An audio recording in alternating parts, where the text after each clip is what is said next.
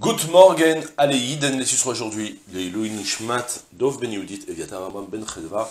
Si vous souhaitez aussi d'étudier une prochaine étude de Mishnah, contactez les 5 minutes éternelles. Nous étudions aujourd'hui Masechet Shabbat Perek Aleph, Mishnah Yud Aleph. Meshal Shelin et Pesach Batanur im Chasheicha, ומאחזין את האור במדורת בית המוקד, ובגבולין כדי שתאחוז האור ברובן. רבי יהודה אומר, בפחמין כל שהוא. Je traduis directement. Meshalchelin est à Pessah. On fait descendre le Pessah, Batanour, dans le four, Im avec la tombée de la nuit. Et aussi selon le même principe, Umachazin, Umachizin, est à Ur bimdurat betamoked. Et on fera prendre le feu dans le bûcher de betamoked. Tandis que Ubagvulin, tandis que dans vos frontières, c'est-à-dire chez vous, eh bien, il faut allumer jusqu'à que le feu prenne pour la majorité. Et on explique de quoi on parle. C'est en rapport avec la Mishnah précédente. On avait appris que avant Shabbat, il y a une histoire de Shema Yechate.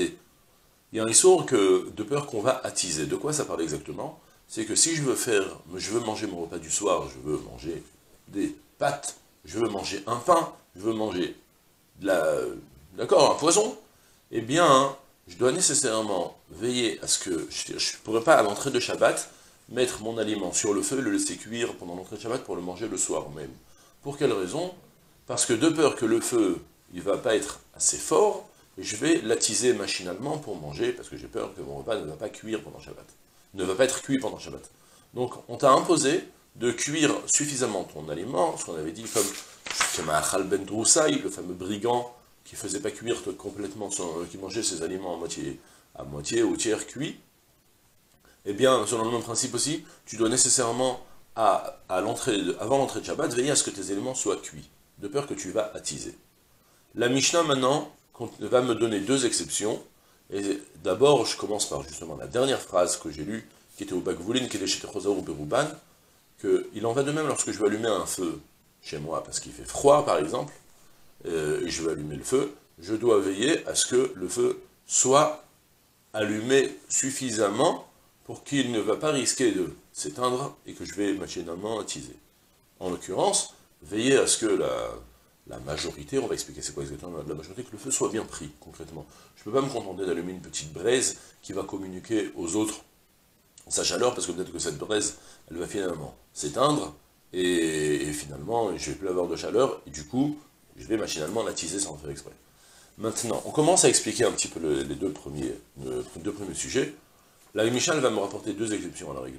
En fait, il y a tout d'abord, Michel Shelin Pesach Batanur le Korban Pesach que l'on mange, chez les Akenu qu'on mange prochainement, le Korban Pesach qu'on mange à Yerushalayim, comment ça se passait l'après-midi du 14, euh, l'après-midi du 14 Nissan Eh bien, on partait tous au on était tous, tous les bénéficiaires étaient tous à Yerushalayim, ils avaient tous fixé avec quel groupe?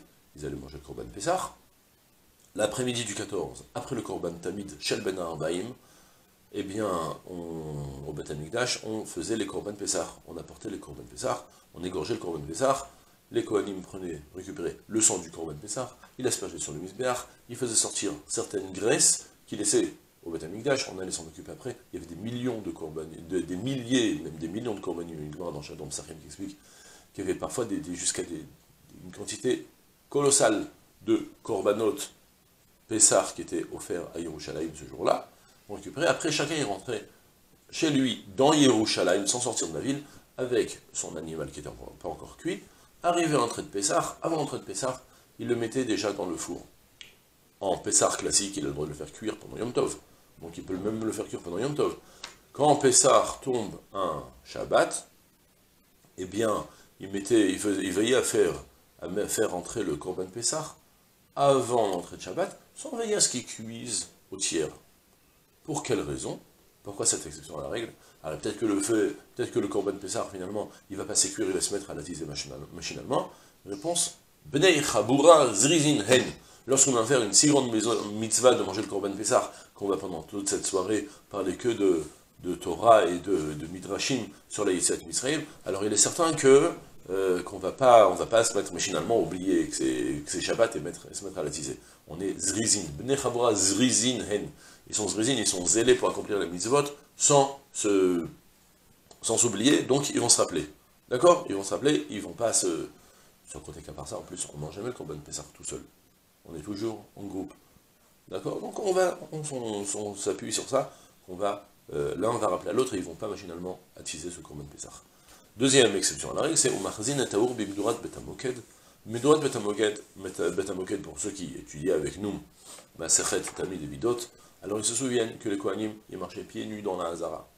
Et des fois, il faisait froid. Des fois, même pendant plusieurs mois de l'année, il fait froid, on est sur Yerushalayim. Donc, du coup, ils marchaient pieds nus. Et ils avaient une salle qui s'appelait le Bet Amoked, où là-bas, c'était un petit peu le, un petit peu, comment dire, la salle des profs, des Kohanim là-bas, où ils partent. Là-bas, ils se reposent un petit peu. Il y avait, possibilité de, dormir, et il y avait aussi un feu qui, brûlait, comme ça ils partaient face à ce, feu, et ils se réchauffaient un petit peu, après ils repartaient faire la voda. D'accord? Et bien, selon le même principe, à l'entrée de Shabbat, lorsqu'on allumait le feu de Beth Amoked, eh bien, il suffisait de l'allumer un petit peu et que le feu allait se propager tout seul et prendre sur, tout le budget sans que, euh, sans que l'on craigne que peut-être que ça va pas s'éprendre, il va falloir le attiser. Tandis que Ubagvoulin, si tu vas allumer un feu chez toi, Bagvoulin dans vos frontières, c'est-à-dire chez toi, eh bien, qu'il est chez il faut veiller à ce que le feu prenne dans la majorité. Petite marloquette dans la Gemara, c'est pas tellement précis dans les Mefarchim ici. Euh, il faut il faut que ça allume dans la majorité. C'est quoi la majorité? Est-ce qu'on parle de la majorité des braises qui prennent le feu? Ou je vois que le Tiferet Israël rapporte l'autre avis dans la Gemara, qui nous dit de, euh, qui nous dit qu'il faut que chaque braise, ou chaque bois plutôt, on ne parle pas de braise, excusez-moi, je ne parle pas de charbon. Charbon c'est une exception, c'est ce qui va y avoir ensuite. Euh, chaque bois, qui soit que le feu il est pris un peu des deux côtés, d'accord, je traduis le, le Tiferet Israël. Des midlik et c'est allumer un feu, un bois unique, eh bien. Il faut que le feu se mette à... Ah, si c'était un seul bout de bois, plutôt. Si c'est un seul bois, une seule bûche, eh bien, il faut que le, euh, que le feu ait pris Berov, Ovio, qu'il ait pris dans la majorité de son épaisseur et dans la majorité de sa, de son, de sa, comment dire, de cette circonférence, de son contour. Il faut qu'il ait, ait bien pris. Maintenant, s'il y a beaucoup de bois, alors, Maintenant, s'il y a beaucoup de bois, alors, ça suffit juste que tu allumes un feu de manière à ce que le, le ce qu'on appelle dans la, dans la, dans la Torah, c'est fréquent, de y aller à la chalevet mais jusqu'à que la flamme monte d'elle-même. Même quand on allume la de Shabbat, il y en a qui font attention à ça.